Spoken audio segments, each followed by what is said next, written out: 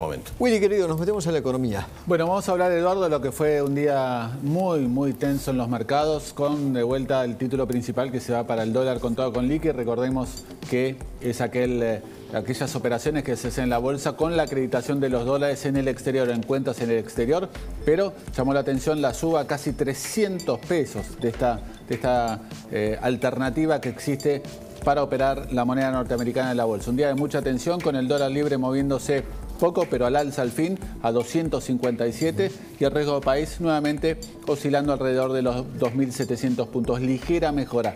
La realidad, Eduardo, es que fue una jornada bastante tensa. Las declaraciones de eh, Silvina Batakis no ayudaron para nada, al contrario, te diría, generando nerviosismo, sobre todo acerca de la sostenibilidad del tipo de cambio oficial, el dólar oficial, porque eh, incluso las medidas mismas del Banco Central eh, cuando toma medidas relacionadas con, por ejemplo, el acceso a las operaciones en cuotas en los free shop, refleja, como venían diciendo ustedes recién en la entrevista con María Eugenia Vidal, que la verdad que ya está buscando eh, centavos de dólar para, digamos, para eh, limitar las pérdidas. Que de hecho hoy el Banco Central sacrificó 80 millones de dólares en el mercado para contener la suba en el tipo de cambio oficial. Pero si te parece, Eduardo, escuchamos las declaraciones de Batakis que generan preocupación, por ejemplo, relacionada con su ministro de Economía preferido de la historia.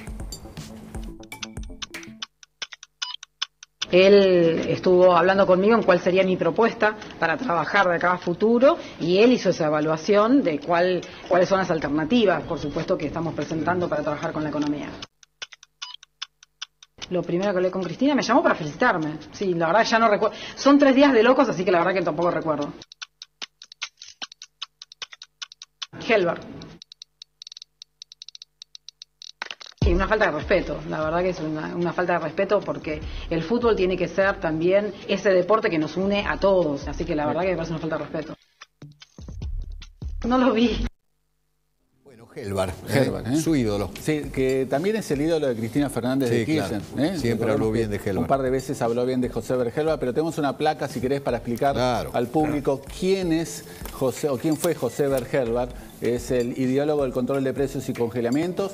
Inicialmente fue miembro del Partido Comunista y luego recaló en el Partido Justicialista, ministro de Cámpora y Perón. Impulsó exportaciones incluso en su gestión de autos a Cuba que Fidel Castro nunca terminó pagando. Nunca pagó. Nos debe Cuba a nosotros cerca de 5 mil, 6 mil millones de dólares, incluso todavía en Cuba, dado que tampoco es una economía muy desarrollada, se ven algunos autos de fabricación argentina que eran de empresas norteamericanas en ese momento, a las cuales Argentina, eh, digamos, se fabricaban acá en Argentina y a su vez Argentina las reexportaba a Cuba y en definitiva fue el que creó las condiciones con esos congelamientos, atraso de precios, tarifas, atrasos en el dólar para el famoso Rodrigazo en 1975. Este, es, este fue José Bergelbar que paradójicamente murió en Estados Unidos, ¿eh? no murió en Cuba precisamente, murió en los Estados Unidos. Eduardo, entonces el ministro preferido de la actual titular del Palacio de Hacienda, Silvina Batakis. Ok, después vamos a escuchar a Guado de Pedro, ¿no? Estuvo hoy con los empresarios. Sí. Importante, importante, eh, presentación ante empresarios. Hubo, hubo después, siempre, o por, lo general, Eduardo Urnequian hace un cierre, ¿no? Con, unas pequeñas palabras. Y hubo algunas palabras elogiosas para, para con Guado de Pedro. Después lo, vamos a contar. ¿eh?